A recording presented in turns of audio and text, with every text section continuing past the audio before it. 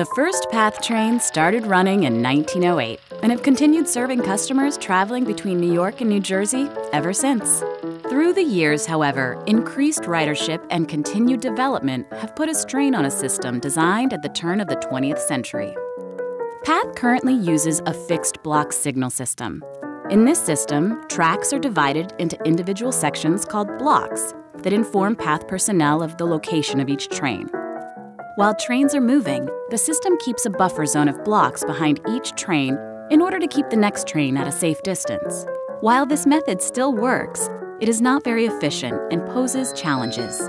Due to this century-old technology, a tremendous amount of repair work is needed to keep the block system working properly. In addition, we can only know which block a train is on, not exactly where each train is within the block or how fast it's going. This uncertainty and the fixed block buffer zones prevent us from running trains with more frequency during rush hours. Presenting Path Forward, our plan to update the PATH system to provide better service with enhanced safety. As part of our 10 year capital improvement plan, we'll be upgrading our signal system to work with state of the art technology called Communications Based Train Control, or CBTC for short. CBTC will allow PATH trains to communicate directly with the signal system, enabling us to track them more precisely and to better manage train traffic and enhance safety.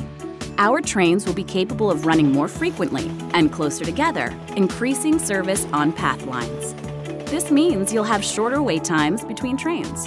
The CBTC system will also allow for further enhancements such as real-time information in PATH stations. We'll also be making upgrades to the PATH system to include new federally mandated positive train control technology, or PTC for short, to ensure enhanced safety on PATH trains.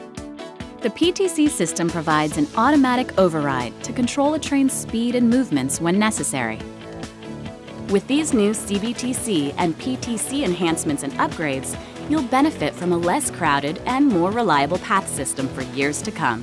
While we're implementing these improvements, PATH will undergo weekend tunnel closures to allow the construction to proceed as efficiently as possible. We'll be sure to keep you up to date on alternate routes and transportation options.